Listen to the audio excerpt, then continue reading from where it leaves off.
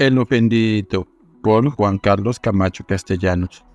El líder de Maras, el salvador del universo. El intergaláctico sembrador del virus está ofendido. Le han quemado su bandera, no la de la patria, pues esa le vale madres, no. Le han ofrendado a las llamas la divisa putrefacta de su amado signo ideológico guerrillero.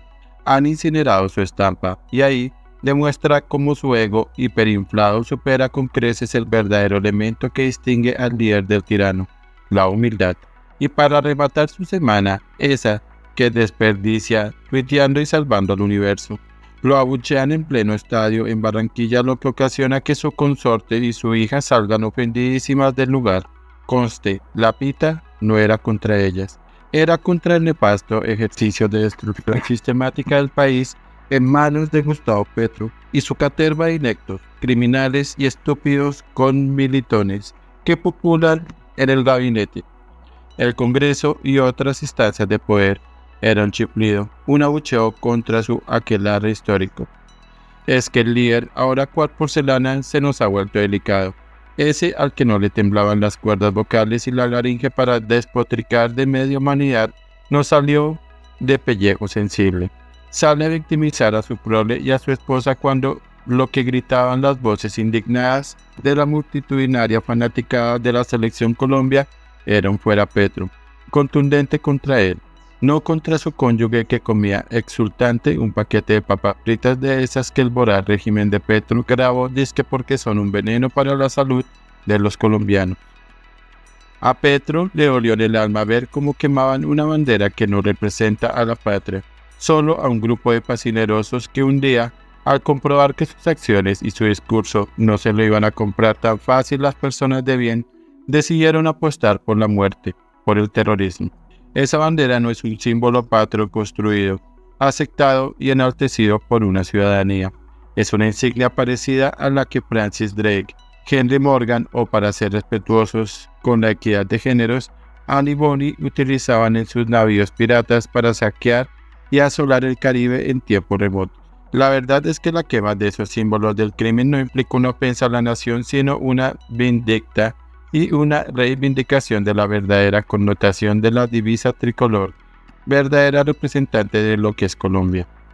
Y por último, que vaya preparando su ego engrandecido, porque a fin de año lo van a achicharrar en todo el país, ya que casualmente el fantoche de para quemar el año viejo este año es precisamente uno que muestra su batracia faz. Así como sus candidatos emblemáticos en las pasadas elecciones salieron figurativamente quemados a él, este fin de año lo van a quemar en efigie como un ejército catárquico de una ciudadanía hastiada de su verborrea, su turismo político, su ineptitud, su impuntualidad, su deseo de destrucción, su siembra de odio promoviendo la polarización, sus escándalos de corrupción, en fin, por ser un karma para los colombianos que por ignorancia política y económica lo eligieron y para aquellos que sabíamos que era tan solo un mequetrefe incompetente y necio.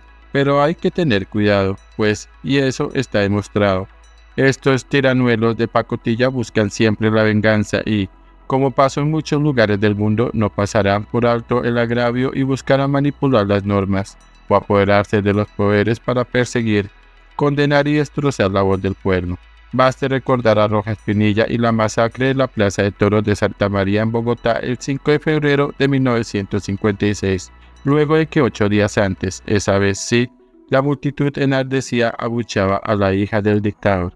Y una muy cercana cuando en Venezuela, en tiempos del sátrapa Hugo Chávez, cuando controlando los poderes judiciales, persiguió con saña a medios y ciudadanos que levantaban su voz crítica frente a su despreciable ejercicio del poder.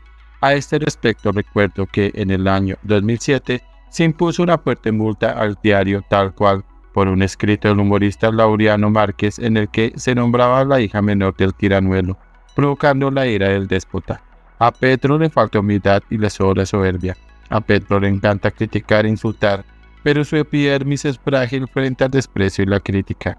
A este señor se le olvida que es un servidor público y que debe entender que una gran parte de sus empleadores hayan o no votado por él, ya los tiene hartos con su pésimo ejercicio administrativo, con sus correrías por el mundo resolviendo los problemas del universo, de que se haya rodeado de inútiles e incompetentes, de su verborrea cansina y polarizante, en fin, que sus empleadores le estén diciendo a gritos que, aunque tenga un contrato a término fijo refrendado por un poco más de 11 millones de incautos, el pobre país ya no le aguanta más a él, a su vicepresidente y a su manada de inútiles ejerciendo el poder.